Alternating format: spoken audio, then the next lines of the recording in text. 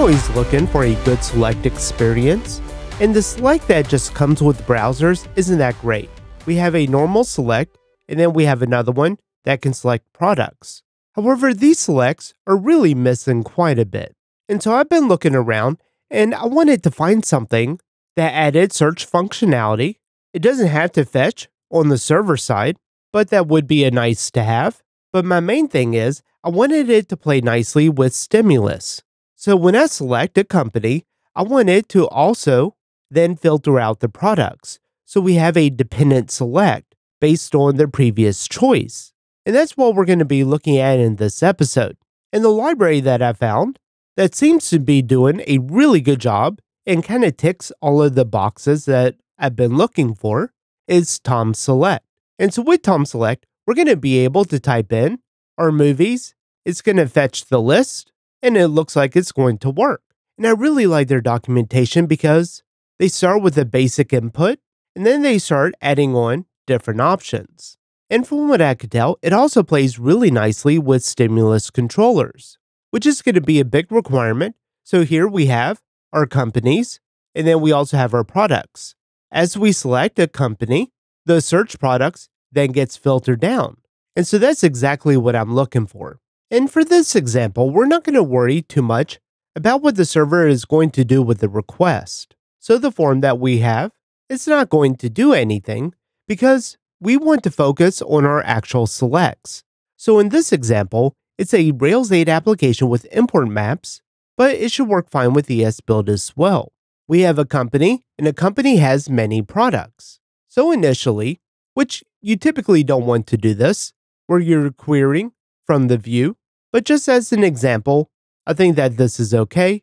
But just keep in mind that if you have thousands of companies and tens of thousands of products, then you could experience increased loading times and some browser slowness. And so the first thing that we're going to do is run the bin import map pin, and we're going to pin the tom dash select. If we go into our config and then the import map, you'll see that it downloaded, but this isn't quite what we want. So I'm going to unpin this and we're going to pin the tom dash select and we're going to use a CDN from jsDelivr and the reason why we're wanting to do this is simply because the Tom Select didn't work properly without the ESM build. And so the CDN will provide that, and we should be good. And then I want to generate a stimulus controller, and I'm just going to call it select. And the reason why I'm building this stimulus controller is I just want to get Tom Select working. So we'll import in Tom Select, and we'll import it in from the Tom Select. When this stimulus controller connects, we'll create a new instance of Tom Select and we'll just call this dot element. So now we can go into our application and we can add that data controller for our select. And so once we get this added, we can start up our Rails application with the bin dev and things don't look quite right. So if we come back and if we get rid of our CSS that we added for the display block, which is then going to make that select visible, we can save this and it still doesn't look quite right. We still have our original select, and then we have the select from Tom Select. And so the reason for this is that we are missing the CSS. This is going to be much easier if you are using ESBuild, but because we're using import maps, we are going to add in a new style sheet. So we'll add in a link to that same Tom Select path from the jsDelivr. And then we need to go into the dist CSS and the tom-select.css, and we'll specify it's a style sheet. So once we save our changes, we can come back, refresh the page, and that looks good now. So we have our styling, and we can select our products just as we could before. It's always good to have a deconstructor, which is our disconnect, where before we unload the page or the stimulus controller, we want to make sure that if this.element.tomselect then we're going to call this dot element dot tom select. We'll call destroy on there. So we'll save this and just make sure that the page works. And it does. So that's good. And we don't have any JavaScript errors either. So that's also good. And so now, whenever we select a company, we want to make sure that it also selects a product. But that does add some complications because I don't want to update this select controller because it's working fine the way it is, especially in situations where I don't want some kind of dependent select. So instead, I'm going to generate another stimulus controller, and I'm just going to call it the select with dependent. And this stimulus controller is going to have a lot of the same functionality, so I'm just going to copy it over. And so that looks good. On our index page, we'll update the data controller with the select with dependent, and then we'll test it out just to make sure that it still works. And so now, whenever we make a change on this stimulus controller, we want to call something or trigger an event. So let's go ahead and build the code. And so we want a data action, and on the change event, we want to call our select with dependent, and let's just call the update action. We will need some kind of URL, so we can add the data select with dependent, and we'll just add a URL value. And for now, I'm just going to make it a hashtag because we don't really have any endpoints yet. Within our new stimulus controller, we'll create our static values. We'll have our URL, and that'll be a string. We also need our update function, and we'll just set our URL is equal to a new URL from this.url value, and we'll set the window location origin, which may or may not be needed. We can fetch this URL, and let's just get a JSON response. So in our headers, we'll just pass in the accept in the application forward slash JSON. And then we can create a promise. So once we make the request, we'll get our response, and then we'll call the response.json. And then we can do something with that JSON data. So at this point, we need a few additional things. We need to be able to specify what we want to target. So we're going to have a target value. And because this could be used for many different things, also want to have a parameter value. Because when we send this over to our Rails application, we may not want to just use the ID value or the string ID for the parameters, but instead, let's use company underscore ID. And for our target value, I'm just going to call this the product underscore select, which does mean that on this product, we will need to add an ID and we'll add the ID product select. So we have a couple more values that we need to add we have our param. And let's say if we're not given a default, then we'll just pass in ID and then we'll have a target, which will be a string. So we can get our target because it's not within the same stimulus controller. We're not going to be able to use this dot target value or something. And using a stimulus outlet, I think would be a bit much. So I'm just going to get our document and we'll get the element by the ID. And we can pass in this dot target value. We'll check if the target exists, then we can do something. So let's go ahead and build our routes. So at this point, we're basically ready to start inserting in some data. So let's go into our routes and create an endpoint. I'm going to have a namespace. We'll call it the searches. And I'm doing this because I don't want to use any existing actions for the products or the companies, simply because these controllers are going to do one thing and it needs to be really simple. So we'll then have uh, resources for our products, and we only need the index action. So we can generate that controller for these searches and then the products. I'm not going to include the index action because we're not going to need a view. And another reason why I like namespacing this and creating its own controller is if we had any kind of authorization or needed to limit the records, we could do that right within here and it would be nice and clean. So we can get our products we can call the product.where.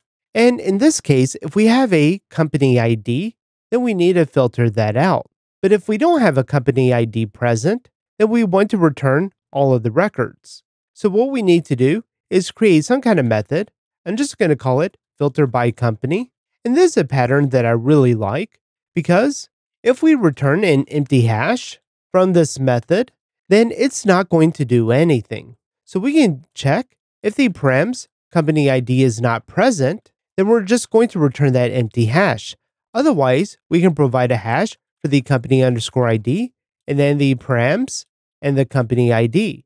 We can finally render some JSON and we'll render it with the products uh, to JSON Of course, if your products is a really large table, then you could just limit this out to just the name and ID. But when we make this request, we are going to have another problem. But before we get there, let's just go ahead and update our URL. We can get that path with the Rails routes dash G, and I'll just type in searches because this is what we're grabbing. And so we have the searches products path. So that's what we'll put in here. And now we should be good to test this. I'll refresh the page. I'll click on one of these and the products didn't do anything. And that's expected.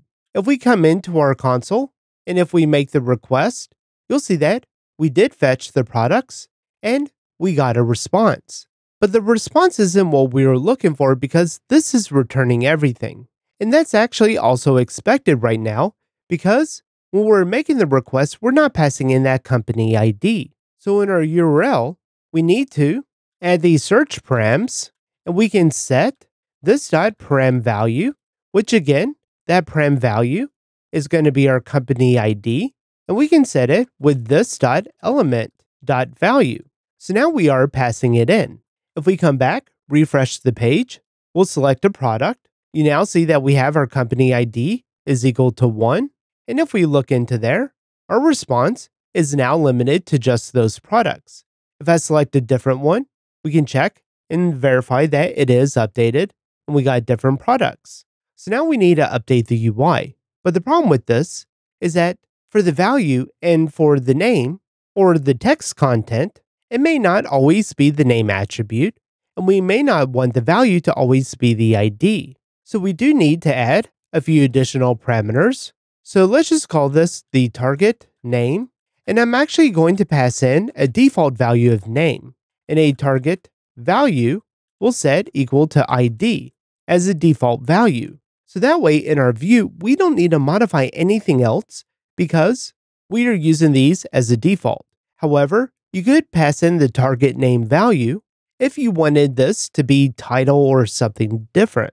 So if we have our target, I'm just going to set a constant for the value key, and we'll set it equal to this dot target value value, which is a little bit strange. So you can name this differently if you wanted to. And then the name key will set equal to this dot target name value. And I'm just setting this because we're going to be using it multiple times. But there's one other problem here. If our target select is a Tom select, then we need to do one thing, Otherwise, if it's a standard select, we can do something else. So we can set our target dot innerHTML is equal to nothing. And then we can loop over our data. We can loop over it with a for each. We'll have an option. And this option will set a constant option is equal to our document dot create element. And we're creating an option. We can set our option dot value is equal to the option. And then we want to grab our value key. We can set our option dot text content is equal to our option and then the name key. Finally, we can call on our target to append the child, which we'll add it into the select. And so this should work if we weren't using Tom Select for our second select box. So I'm going to go ahead and remove that. So we have just a normal old select. We'll then update this. And now you see that it's been updated to just those products. If we change it again, that works. But the problem here is that we were using Tom Select for it. So we do need to take that into consideration. And we can call on our target .tom select and we can clear the options. We can then loop over all of our data that we got back from the server. And we can call the target tom select dot add option and we want to pass in a hash where we have our value and that's going to be our option key value. And for the text, we'll set to the option name key.